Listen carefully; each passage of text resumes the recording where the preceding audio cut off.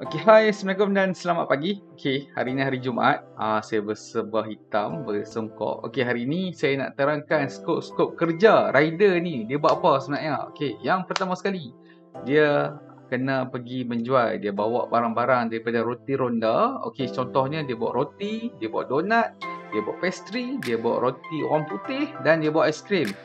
Dengan dengan dia bawa-bawa ni dia pergi jual dengan hasil tu dia akan dapat commission.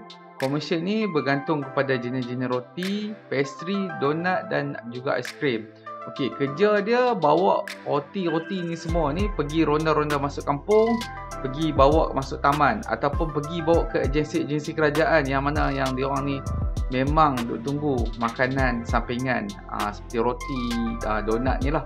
So, um, kena ada jiwa perniagaan, kena ada jiwa diri itu untuk berniaga. Uh, ni mindset untuk berniaga. Tabaran uh, untuk jadi rot, nak, nak, nak jadi rider ni mudah saja tapi kena ada kesabaran, uh, mindset yang baik, mindset untuk dapatkan rezeki yang banyak. Ha, apabila bawa roti-roti ni, ha, itu perkara paling penting lah. Ha, asas kepada macam mana untuk jadi rider.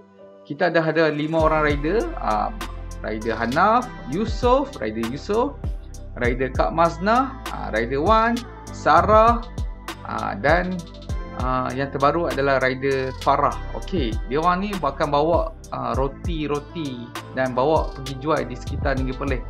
Uh, itu yang sekitar Negeri Perlis lah. Uh, macam hari ini uh, Kak Mazna dia bawa pergi ke Alostar, tim Kak Mazna. Uh, sebab apa? Alostar lagi besar. So dia kena rentas negeri and then jual. So quantity, uh, macam mana gaji nak dapat bos? Okey, saya akan terangkan macam mana gaji nak dapat.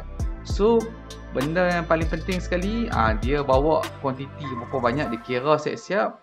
Contohnya roti dia bawa 100 box. Ah so kena pastikan dia terjual. Dia akan dapat sekurang-kurangnya RM50 ke RM100 ikut berdasarkan roti yang dia jual jenis-jenis roti jenis-jenis roti ni kita terangkan uh, dia ada beberapa commission uh, 50 sen dia ada RM1 dan dia ada uh, RM1.5 Ah, okay. So itu memang uh, rider akan dapat. So uh, gaji pendapatan rider sekitar lebih kurang dalam 120 ke 180 bergantung kepada jumlah yang dia bawa.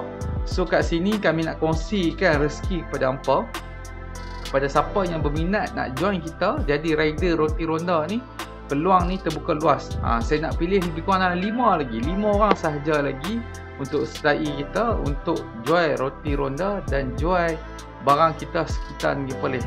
Pada siapa yang berminat, bolehlah tekan link kat bawah sekarang dan daftar sekarang sebagai rider dan PM saya di 019 9111 017 and then uh, bagi tahu saya dah daftar jadi rider and then teruskan uh, datang lepas register dapatkan maklumat and then kita akan terus pergi training. Uh, kita akan ada sesi training dalam sejam dua jam. Datang ke Roti Ronda Taman Seriwang and then kita akan bagi training.